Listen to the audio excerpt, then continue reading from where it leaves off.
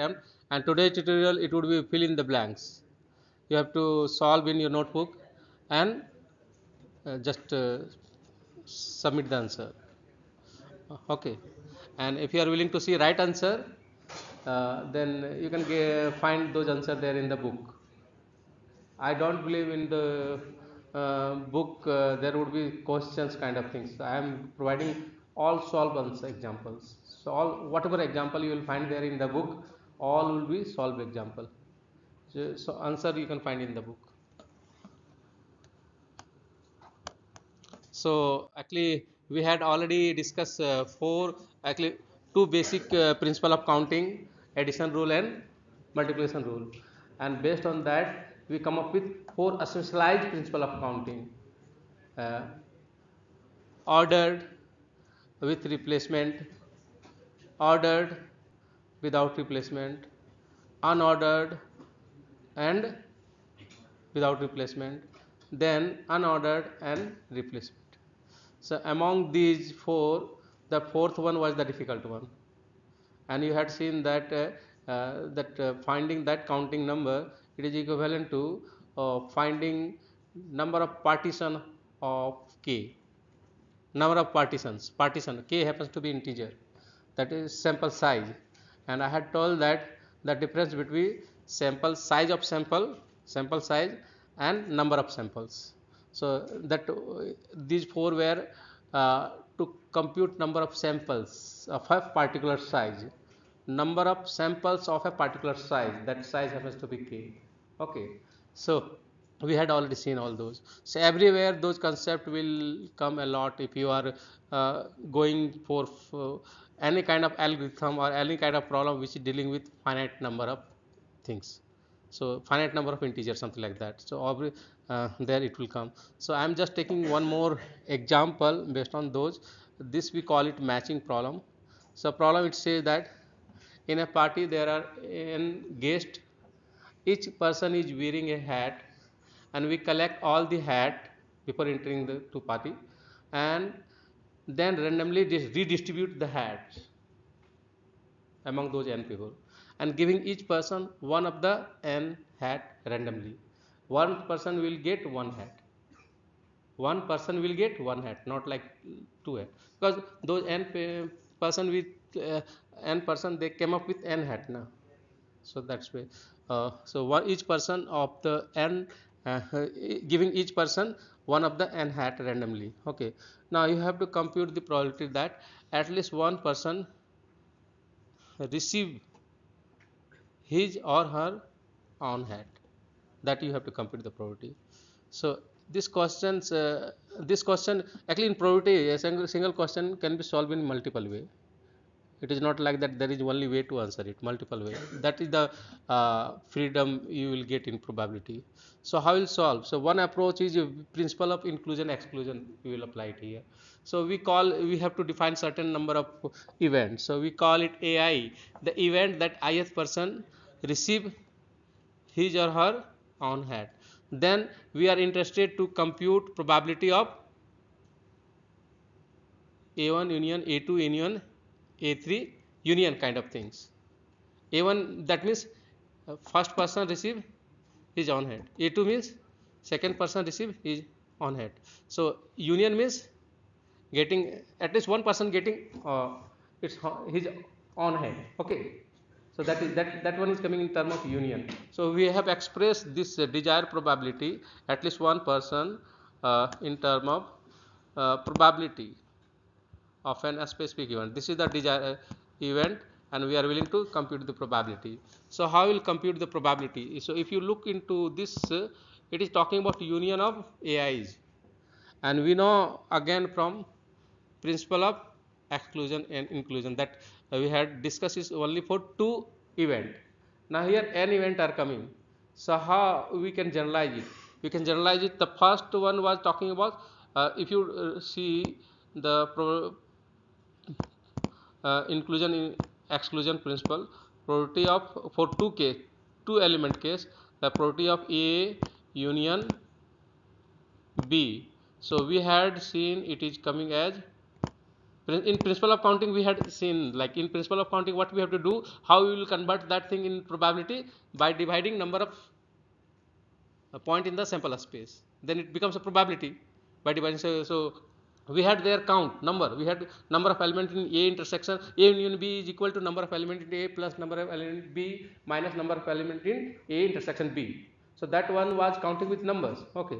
Now if you divide throughout by uh, all possible uh, uh, that possibilities then it becomes probability that you had already seen in finite sample space. Okay. Uh, so so that's way you are dividing by n then it becomes probability. So probability of a union b it actually equal to probability of a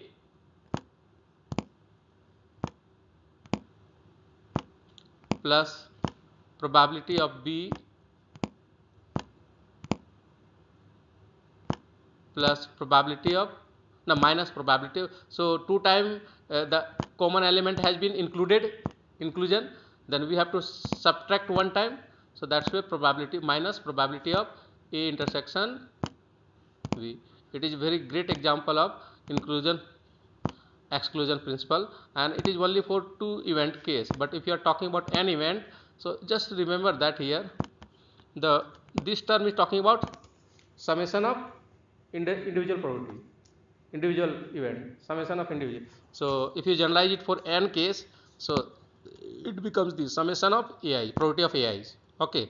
The second is talking about which uh, intersection of two events at a time. Then third will what? It will come intersection of three event at a time. Likewise it will go. Uh, it is very much related with uh, binomial expansion. Have you heard? Have you seen binomial expansion? So it is very much related with that. Also the here sign will change also. Here sign is changing here the plus here plus then minus then plus then minus something like that.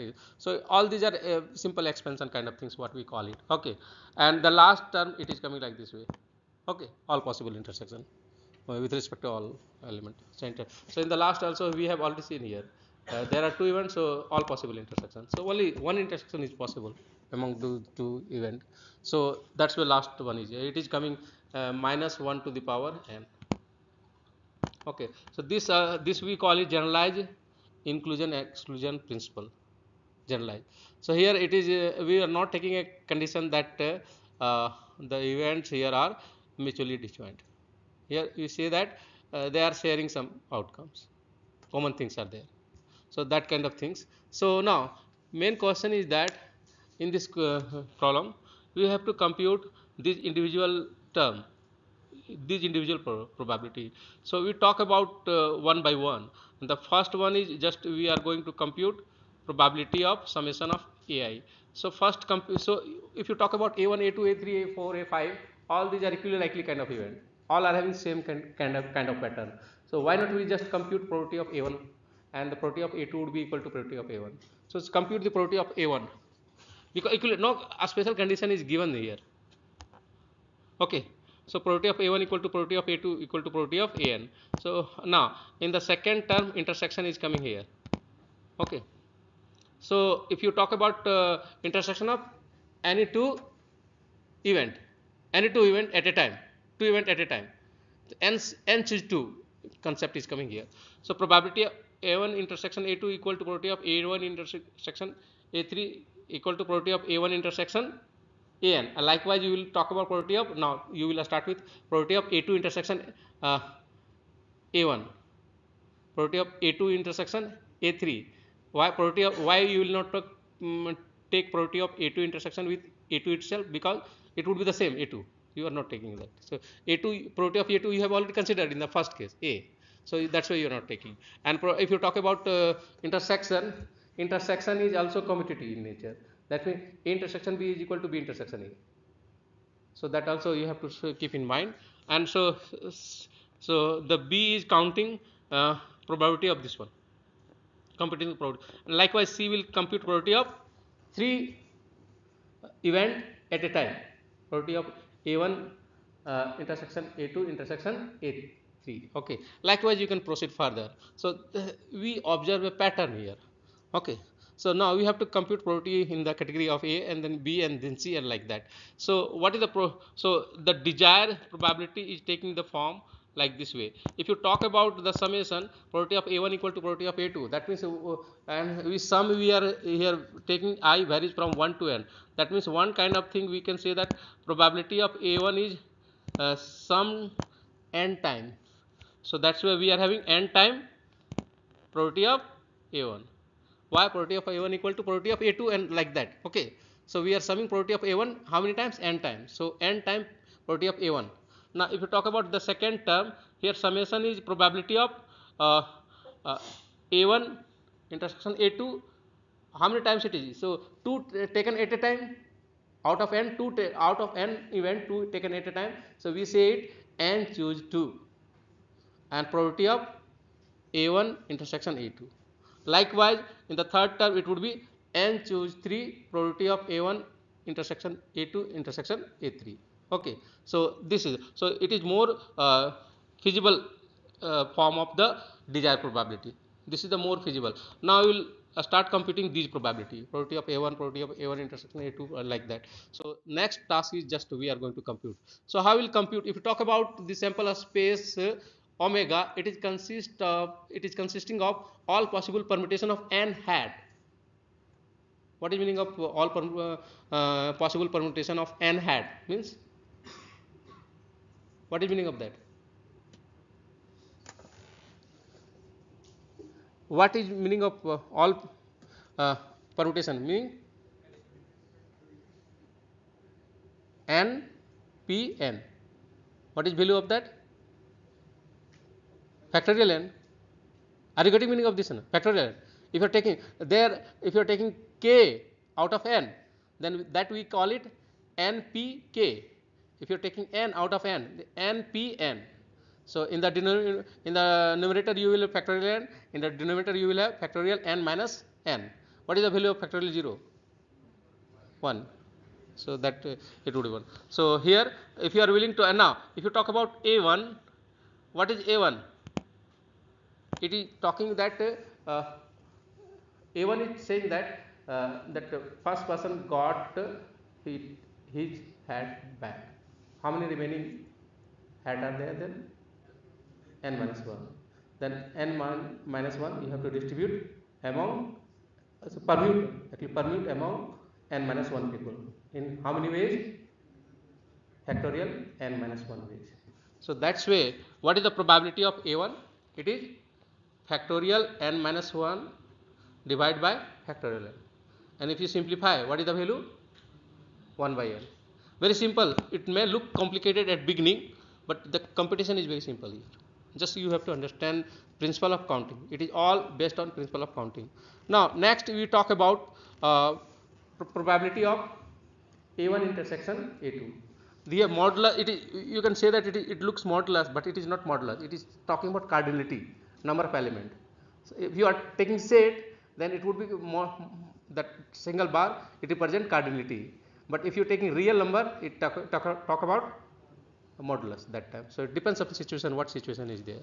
So, if your same thing is coming here, so uh, we permute n uh, hat among n people that is the sample space.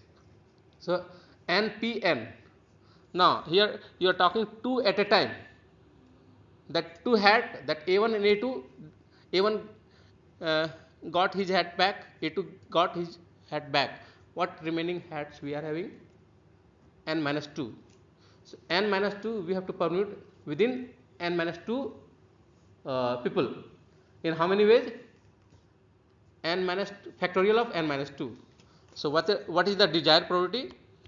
This fact uh, factorial of n minus 2 divided by factorial of n and systematically you can write it. You can take it like this way. Better always we want a simple notation or formula based notation. So, you can bring it here. So, you can say that n p n minus 2 we can write 1 by n p n minus 2 we can write it like this way. So, that we can get a general form. And likewise also you can see it here. Uh, what is the name of this one?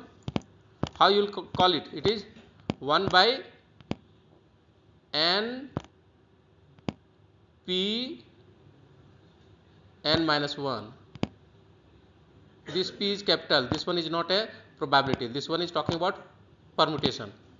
Permutation. It is talking about permutation. So here uh, probability of a1 intersection a2 is 1 by n p n minus 2 uh, likewise probability of a1 intersection a2 intersection a3 would be what?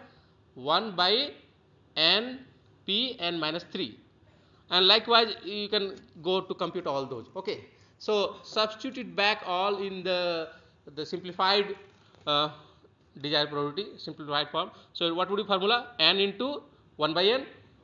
Probability of a1 is 1 by n then minus n choose 2 probability probability of a1 intersection a2 that one is 1 by n p n minus 2 probability plus pro, n choose 3 uh, probability of a1 intersection a2 intersection a3 and that one is 1 by n p n minus 3 so that's why we have written it like and likewise you will go on like that. So if you expand it further if you simply n will cancel out here if you simplify further it is taking the form of 1 minus 1 by factorial 2 plus 1 by factorial 3 and plus it will go like that. It is having likely n terms. Okay so n terms. There are n terms you observe. So, uh, if you try to see this term it is having very much uh, uh, resemblance with uh, expansion of exponential function what is the Taylor series of uh, or Maclaurin series of exponential function? e to the power x uh, e to the power x equal to 1 plus x by factorial 1 plus x square by factorial 2 plus x cube by factorial 3 it will go like that. Uh, but but that one is an infinite series. Why? It is convergent. Uh, in the neighborhood of 0 that series is defined in the neighborhood of 0 only not everywhere everywhere. Okay in the neighborhood of 0 so like uh, uh, if you take x equal to minus 1 what you will get? If you take x equal to minus 1 what you will get? 1 minus 1 plus 1 by factorial 2 minus 1 by factorial 3 plus 1 by factorial 4 and likewise you will go like that okay? So if you uh, try to see in that pattern you can say that if n is approaching to infinity if you make it n is approaching to infinity this series will approach to 1 minus e to the power minus 1 there is one less term here no here there is one oh, the first term is not here so one less term is here. So you can adjust it and it will converge to uh, actually this when n is approaching to infinity but uh, here when n is approaching to infinity uh, this series will converge to 1 minus e to the power minus 1 anyone is having any issue in here?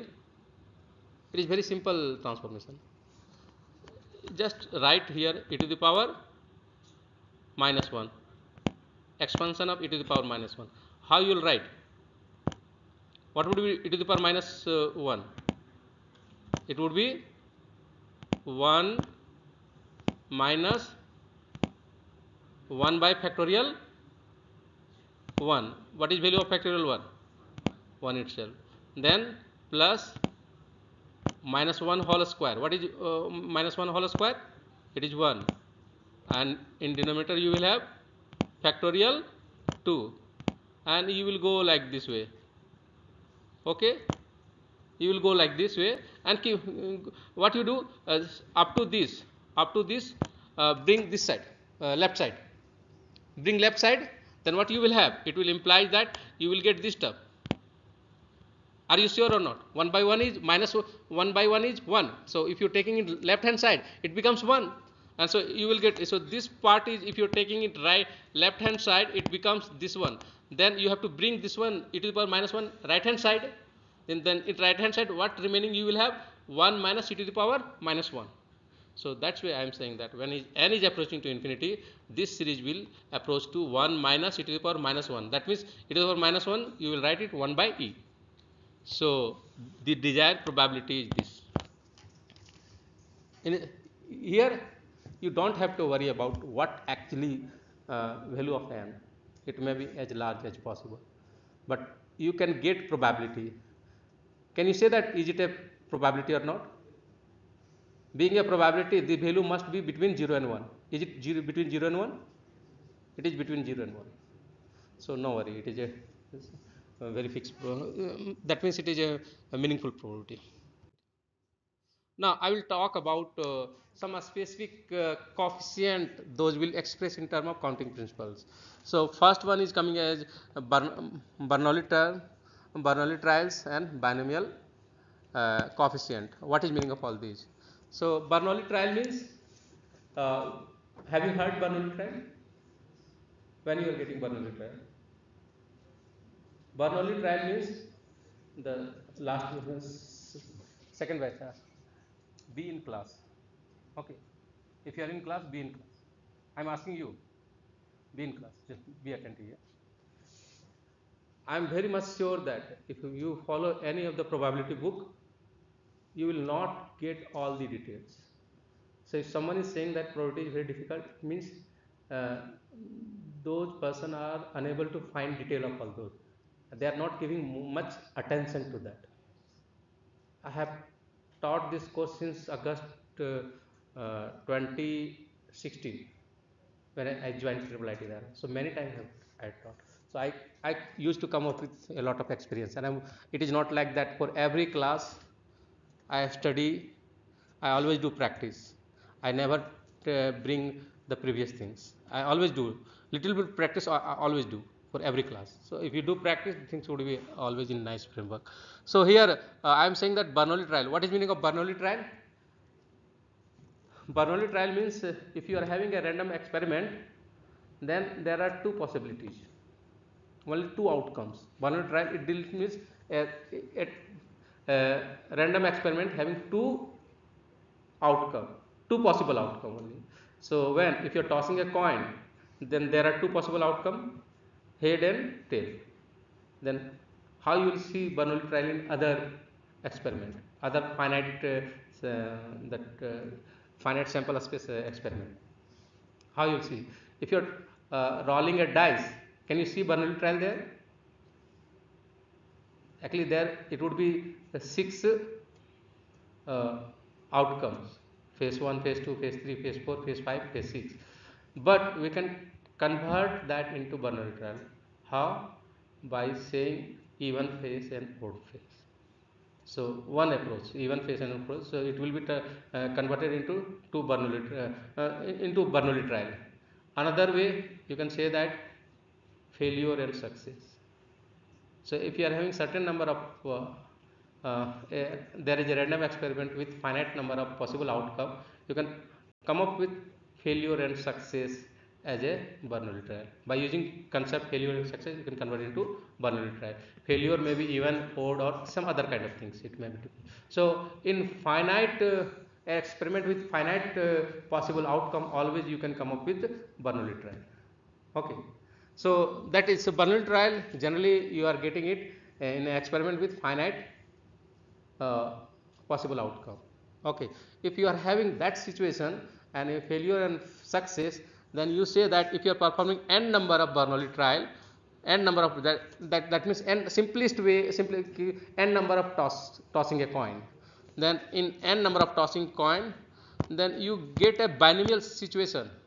In the n number of tossing coin, you will say that the, among the n toss you observe k success.